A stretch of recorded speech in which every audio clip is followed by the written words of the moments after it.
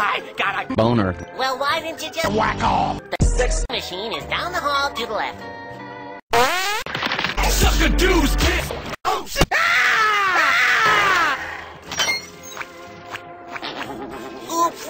Oh, that one's the Vagina. opener.